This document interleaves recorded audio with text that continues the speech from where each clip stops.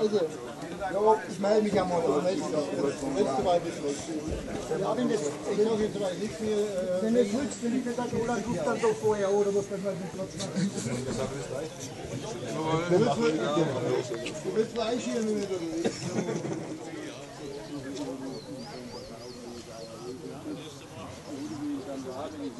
Begrüßung und einigen Worten, die ich zur Köhlerei in der Timmels sagen will und sagen darf.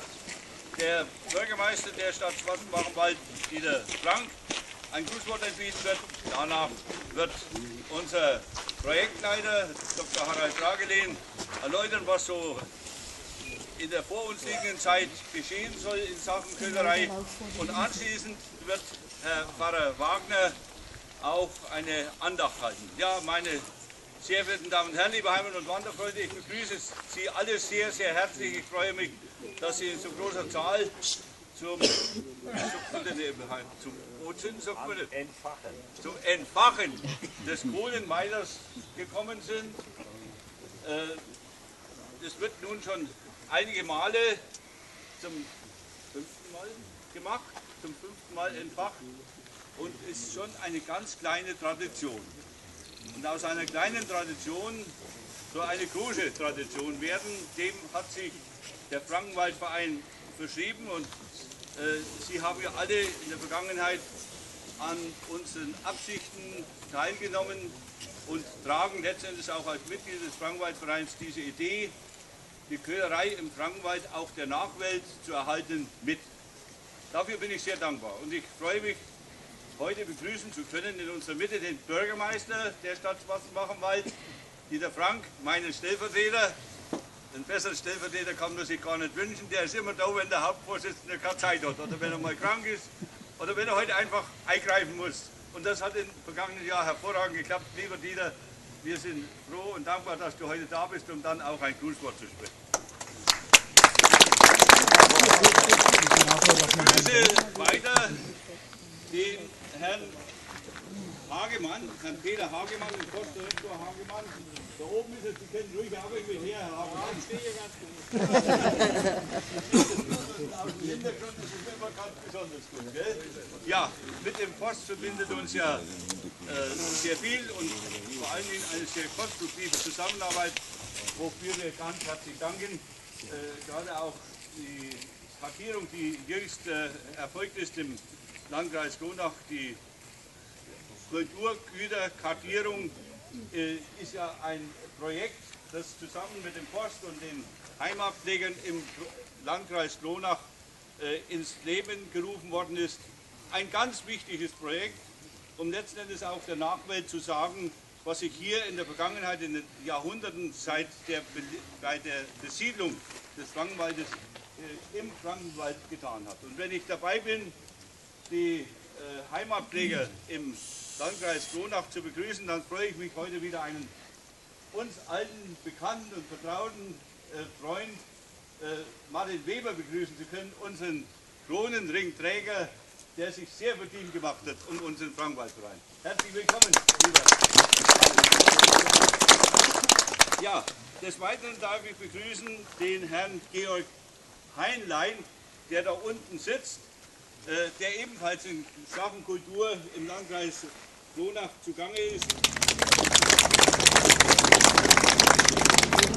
Ja, liebe Ehrengäste, meine Damen und Herren, liebe Heimat- und Wanderfreunde, Zeit ist vorbei. Auch ich möchte Sie natürlich sehr herzlich hier am Kohlenmeiler begrüßen. Ich freue mich ganz besonders, dass diese, das alte Handwerk, die Köhlerei, fortgeführt wird hier im Timmelstal, die der Emil Reuter bis vor einigen Jahren ja noch selbst betrieben hat. Er konnte das dann aber nicht mehr aus gesundheitlichen Gründen. Es wäre auch schön, wenn er ab und zu mal mit dabei wäre. Aber ich denke, dass ihm letztendlich auch ein bisschen immer das Herz blutet.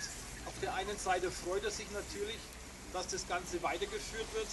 Auf der anderen Seite fällt es ihm schwer zuzusehen und nicht mehr so mitmachen zu können.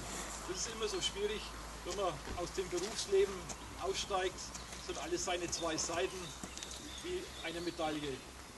Jedenfalls freut es mich, dass die Ortsgruppe Schnaat, du hast es wenigstens in Schwarzbach, Ja, ganz im Frankenwald, es wird schon ein wenig unterschiedlich ausgesprochen, denke ich. gell. kleine Aber die Schnaat ist die Schnaat. Dass die sich das zum, zur Aufgabe gemacht haben, mit vielen Helfern, auch aus anderen Ortsgruppen, eine tolle Sache, was hier auf die Beine gestellt wurde und was der Nachwelt erhalten werden soll. Hauptvorsitzender hat ja schon erwähnt, dass wir noch größere Dinge hier vorhaben, aber wir mussten zunächst einmal testen, ob es denn klappt, ob wir genügend Beteiligte finden, die hier mithelfen, um das Geld nicht im wahrsten Sinne des Wortes in den Sand zu setzen. Denn 150.000 Euro ist ja auch eine stolze Summe, die hier investiert wird. Es soll etwas Vernünftiges werden. Die andere Sache ist natürlich auch die, dass es dann entsprechend fortgeführt wird, dass wir immer genügend Helfer haben. Und ich glaube, dass das Ganze auch für den Tourismus ein wichtiger Punkt sein wird. Sie wissen ja, dass am Samstag, den 5. Mai, dann der Marathon, der Wandermarathon stattfindet. Und auch an diesem Event ist hier eine Station, an der man sich dann weitere Informationen einholen kann. Ich denke, für die Teilnehmer gibt es dann auch Brotzeit, wenn ich recht informiert bin. Also für diejenigen, die sich eingeschrieben haben, ob es sonst was gibt. Das wird die Ortsgruppe noch einmal schauen, ob vielleicht das Seidler Bier gibt oder sonst was. Aber der Anstieg zum Berg kommt ja dann erst. Also nochmal herzlichen Dank, dass Sie hergekommen sind, dass das Ganze weitergeführt werden kann. Und dann danke ich Ihnen für die Aufmerksamkeit. diese Angelegenheit. Ein Wort aus dem Kolosserbrief vom Apostel Paulus, da heißt es, alles, was ihr tut, mit Worten oder mit Werken, das tut alles im Namen des Herrn Jesus und dankt Gott dem Vater durch ihn. Drei Gedanken dazu. Alles, was wir im Leben und im Beruf auch tun und sagen, können wir so verstehen, dass wir als Christen das vor Gott und im Angesicht und der Gegenwart Gottes auch bewusst tun. Zumindest so als Christen, als Christenmensch wird man das so machen, dass man sagt, ich will mein Leben und so wie ich lebe, das auch bewusst christlich tun. Ja, und Martin Luther, der hat da sehr viel Wert darauf gelegt, dass auch die Berufsstände auch bewusst christliches Verhalten und Maßstäbe haben. Ja, und der Beruf des Köhlers ist ja auch ein Beruf und deswegen kann man das da ganz gut auch mit dazu tun. Alles, was ihr tut mit Worten oder mit Werken, können wir auch vor dem Angesicht Gottes tun. Im Namen des Herrn Jesus steht hier alles ihm anbefehlen. Ich denke, wie schon gerade erwähnt, um Schutz und Bewahrung und um den Segen zu bitten. Das ist was, egal ob wir evangelisch, katholisch oder so sind, sondern wir tun das, um Gott, wie wir glauben, dem Vater im Himmel, das anzubefehlen und sagen, Herr, schütze du uns vor Unfall und Gefahr, segne du unser Werk. Und da gehören auch die Wälder dazu, da gehören auch die Zimmermänner und Waldarbeiter dazu und dann auch, warum nicht, auch die Köhlerei. Dass alles gut gelingt, dass nichts passiert, haben wir gerade gehört, Brandschutz spielt eine Rolle. Insofern kann man ja auch da schon mal dankbar sein, dass auch bisher ja noch nichts wohl passiert ist und dass das auch in Zukunft so bleiben mag. Das ist nämlich schon der dritte Gedanke, Dank sagen. Es gehört auch immer wieder dazu. Erntedank ist ein Stichwort. Oder auch so im Leben, wenn man etwas Gutes erlebt, dass man sich bei Gott dafür bedankt, Danke sagt für das, was man erhalten hat. Und so kann man sagen, ja, danke Gott, dass diese Tradition bis heute auch Bestand hat, dass nichts passiert ist, dass Menschen Arbeit haben, die sicher auch nicht so leicht ist und dass wir diese Tradition hier bei uns bewahren können. So viel dazu und ja, ich habe mich noch kurz, so was die Zeit hergegeben hat, mal über die Heiligen informiert. Es gibt nämlich welche, drei an der Zahl sogar, Ich habe mir mal einen besonders rausgesucht, nämlich den Wolfgang von Regensburg.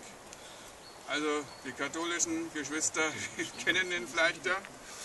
Ein Heiliger aus dem ersten Jahrtausend noch, 994 ist er gestorben, am 31. Oktober, das ist nämlich auch sein Gedenktag.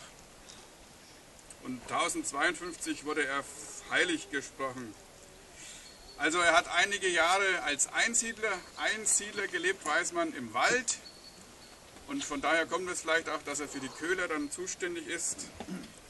Ähm, er hat ja, geistliche Kämpfe im Wald mit dem Beil auch ausgefochten. Das heißt, er hat mit dem Teufel gekämpft und er hatte ein Beil geschmissen und da, wo das hinfiel, da hat er eine Kirche gebaut. Das war äh, aber nicht hier, sondern in Österreich. Aber wer gerne an den Wolfgangsee fährt, der darf in Zukunft wissen, dass dieser See nach dem heiligen Wolfgang benannt ist. So, wieder was gelernt. Ne? Und er ist der Patron von Bayern und Regensburg. Da dachte ich, dann nehme ich den Wolfgang, der gehört wenigstens daher. Die anderen sind aus dem Ausland, nichts gegen die, aber mit Wolfgang können wir dann am meisten was anfangen. Also er ist auch der Patron. Patron heißt ja der Schutzherr, der also nach katholischem Verständnis so auch als Fürsprecher ansprechbar ist. Für die Hirten, für die Holzarbeiter und eben auch Zimmerleute und da gehören auch die Köhler dazu. Also alles, vieles, was mit Holz zu tun hat, ähm, das ist ihm anbefohlen. Und ja gut, also wie man das dann hält, mag jeder für sich entscheiden. Ich würde sagen, wir bitten einfach Gott, den Herrn im Himmel, dass er seinen Schutz und Segen gibt und wenn der Wolfgang auch noch seinen Segen dazu gibt, dann kann es ja vielleicht nicht schaden. So viel dazu. Und das möchte ich jetzt einfach mit einem kurzen Gebet auch noch tun, wenn man so sagen kann. Also, weiß ich nicht.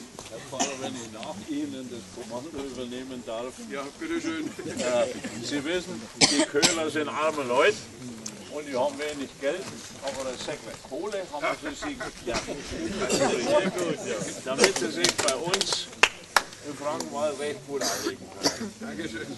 Ich denke, wir übergeben jetzt unserer Köhlerliesel das Feuer mit der Bitte, uns dann das, das Feuer äh, zum Meiler zu bringen, damit wir den Meiler entfachen können. Danke, Meiler.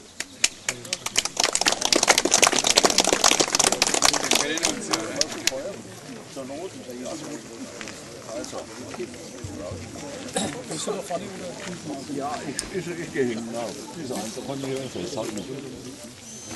Ja, gibst du das Feuer noch den anderen am Kurs? Naja, nicht, nicht.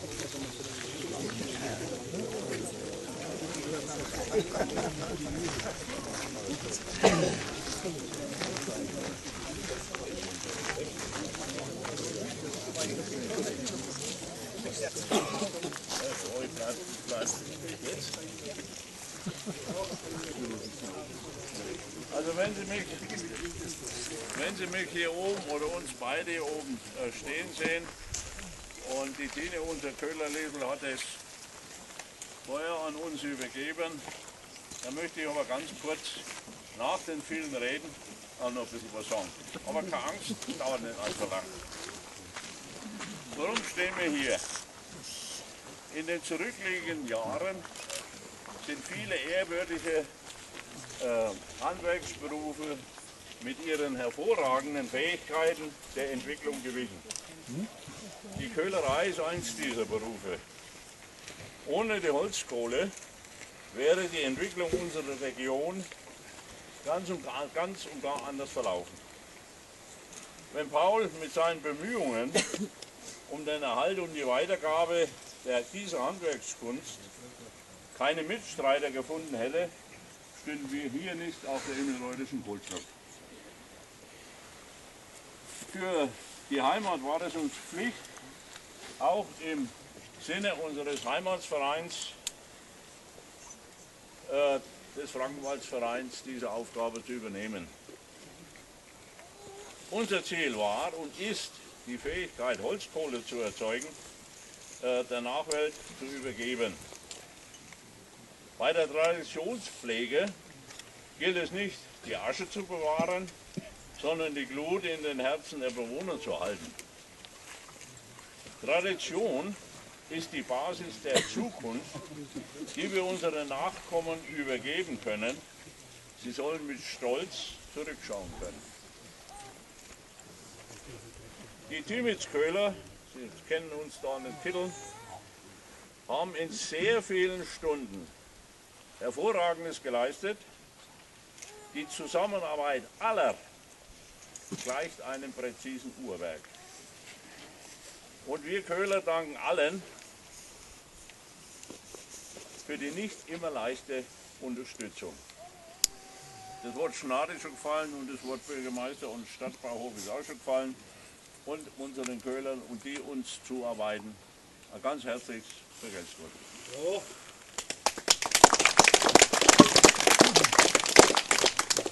Und ich denke, Sie haben eben geklatscht. Für unsere Köhler ist auch noch mehr Klatscher übrig.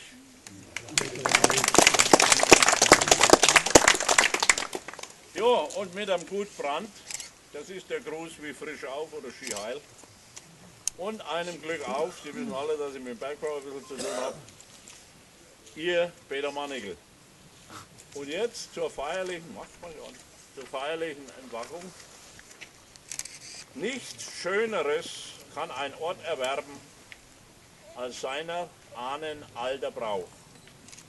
Denn wo des Ortes stille äh, Sitten sterben, da stirbt des Ortes Blüte auf. Kohlenmeiler bauen, Gott vertrauen, frisch drauf werken, wird niemand gereuen. Weil's Gott nun Köhler bet und singt, gut Brand, dein Meiler wohl gelingt. Dankeschön.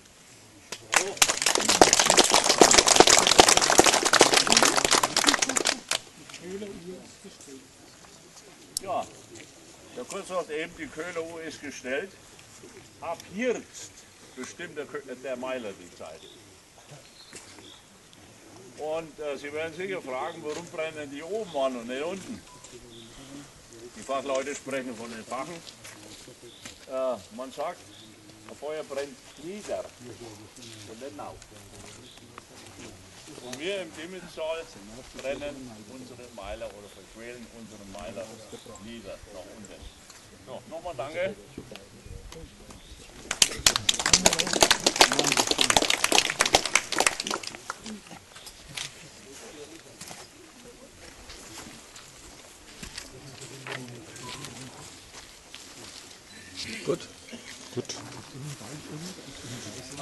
Fragen hat, übrigens, möge sich Ja, der auch Wort klar aufgelegt. Jetzt ist äh, auf die grüne äh, wird Kommt gleich noch Einfach hinten. auch noch was zu sagen. Wenn jemand Holzkohle mitnehmen will, vom letzten Meiler bis hier erhältlich. Der Sack kostet 12 Euro, sind 7 Kilo drin, ist ein guter Preis. Und eine gute Qualität, eine Ware, die fällt. Und Deutschland dann nur das Bioholzkohle. Ja. Ja.